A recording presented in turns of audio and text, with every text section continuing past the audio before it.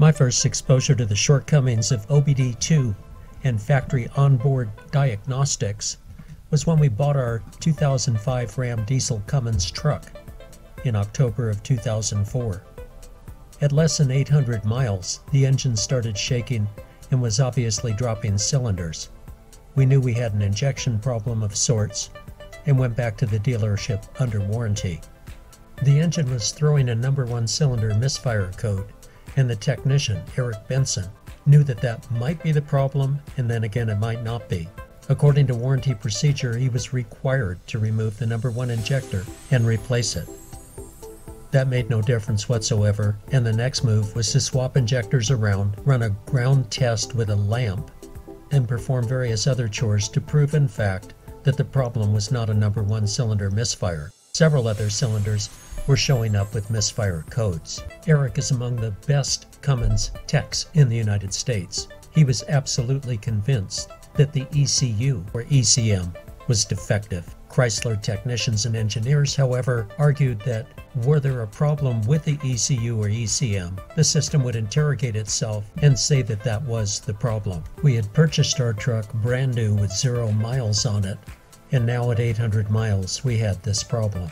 Driving around in a PT Cruiser dealership loan vehicle was hardly a substitute for a Ram 3500 quad cab 4x4. By the time Eric finally got authorization from Chrysler to change the ECU, 25 other vehicles like ours were stuck in dealerships in our zone all the way to Colorado. Cummins furnished a reconditioned ECM unit not only did the truck run right at that point, we're still running at 186,000 miles on that same unit. After many years and thousands of customers later, Chrysler eventually extended the warranty on the ECM units in these Gen 3 trucks. Consumers paid thousands of dollars for unnecessary repairs that never solved the problem. The computer itself was at fault, and no scan tool at that time would have said so. Over the years, I've watched consumers pay a small fortune around number one cylinder misfires on Jeep 4 liter engines. There are many other gasoline engines that throw the number one misfire code and end up with crankshaft position sensor, fuel injector, and other parts replacement that has absolutely no bearing on the problem. Parts houses can stay in business on just the sale of coil on plug coils. In fairness, high-end scan tools can delineate problems beyond a simple number one cylinder P0301 code that points to X number of parts that might need replacing. Unfortunately, it's the consumer who can't afford the high-end scan tool who relies on a code reader and rushes off to the parts house to get the number of parts that are listed under the chart for that code. The money spent needlessly on parts that don't solve the problem could pay for an Autel Maxiscope. Codes are based on PIDs.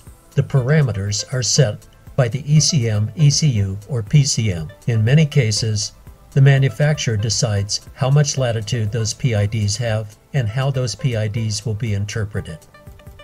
I have been doing diagnostic and troubleshooting work for over half a century. Professionally, I've used every kind of diagnostic tool from a vacuum gauge to a scan tool. In the late 60s and early 70s, I managed a fleet of light and medium duty trucks and introduced the use of an oscilloscope, at that time an Allen machine. I still have a Sun 720 engine analyzer set up for HEI era vehicles and able to do carbon monoxide and hydrocarbon testing at the tailpipe. When I taught at the San Diego Job Corps in the early 1980s, education test equipment included a Sun engine analyzer and a Sun distributor machine at that time. When classroom instructing at the Rite of Passage program, again adult education level, in the early 2000s, we were starting to use scan tools that were rapidly replacing the old engine analyzers.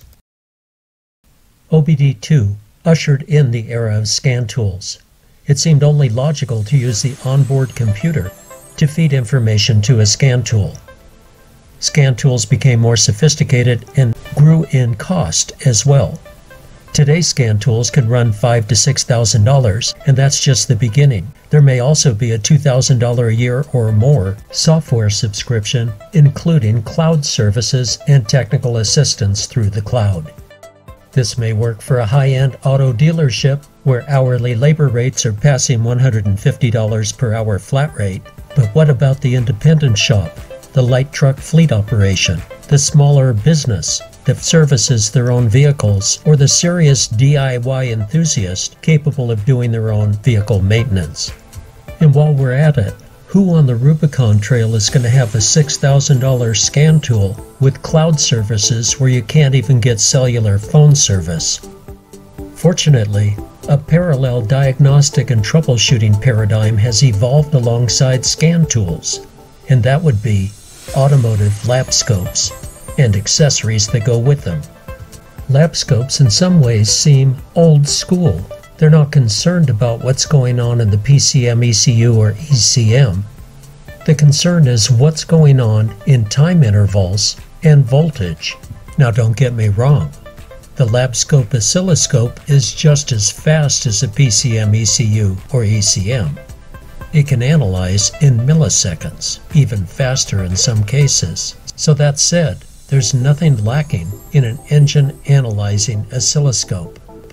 What if you could look inside the cylinder of a running engine? What if you could analyze a fuel pump inside the fuel tank? Yes, analyze the condition of the fuel pump without dropping the tank. Wouldn't that be worthwhile before taking a trip over the Rubicon? Who wants to be on the side of the trail dropping their fuel tank when everyone else is having a good time with their 4x4? How is it possible to perform this type of diagnostic without a $6,000 scan tool? The automotive lab scope does two things. It measures voltage and it measures time intervals. Voltage over time creates a wave. That wave signal can be read on a laptop computer or a PC computer or even on a cellular phone or tablet. So what form does that wave signal take? In some cases, it may be the parade of spark firing lines. In other circumstances, it may be a pressure transducer explaining the cylinder pressures through a voltage signal. We learn over time to interpret these signals. Each one is a specific shape, and that shape tells us something about the underlying voltage and time interval. One diagnostic test that's very valuable quick and somewhat easy is a relative compression check. In a relative compression check, we use the starter motor and the load on the starter motor created by the rise of each piston on the compression stroke to tell us, in the form of the wave pattern, if one or more cylinders is pulling less of a load than the others. We call this a relative compression check. A relative compression check can be performed with nothing more than a high amperage amp clamp. The amp clamp is placed on the battery cable to the starter motor and measures the starter motor amperage draw as each piston comes up on its compression stroke. In the process, this time and voltage, if you will, amperage, is measured and shows as waveforms on the oscilloscope. Of course, on a well-worn engine, all of the cylinders might be low and the relative compression differences might even be minor. In the case of any cylinder having a lower reading than the others, however, it is very clear that that cylinder is low on compression. Further checks can be done with a lab scope using a pressure transducer in the cylinder, as in the spark plug hole, or a compression gauge or better yet, a cylinder leak down test. A simpler and less costly pulse pressure sensor can take a reading at the tailpipe in the lower pressure levels and determine that valves, rings, or valve timing is either on or off per cylinder. This is also a quick check for injector function or spark. There are specific lab scope tests that can follow up on any of these quick diagnoses. The pulse pressure sensor has an additional feature. You can check the pressure coming out of the crankcase through the dipstick tube. If you're wondering whether the piston rings have blow-by, that will show up in the crankcase. If you use an ignition trigger and put it on number one cylinder, you can determine the firing order, then read the pressure pulses and know which cylinder has piston ring blow-by. All of this with the engine idling and no need to even remove a spark plug. The two significant gains with the lab scope are the quickness by which we can determine engine condition, transmission condition, electrical device condition, and so forth. And secondly, the pinpoint diagnosis that takes place without the use of a scan tool or any other intervention.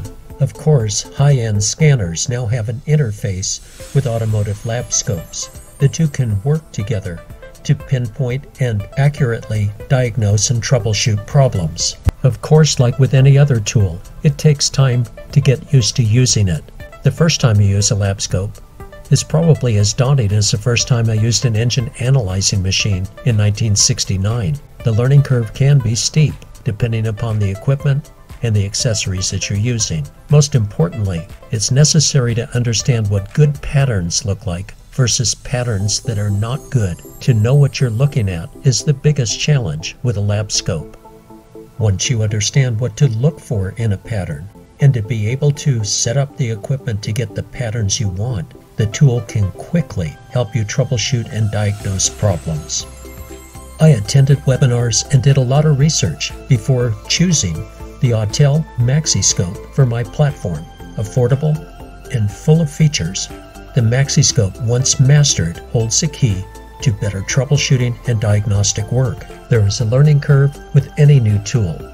In the case of the MaxiScope, the objective is to create patterns that are useful for diagnostic work.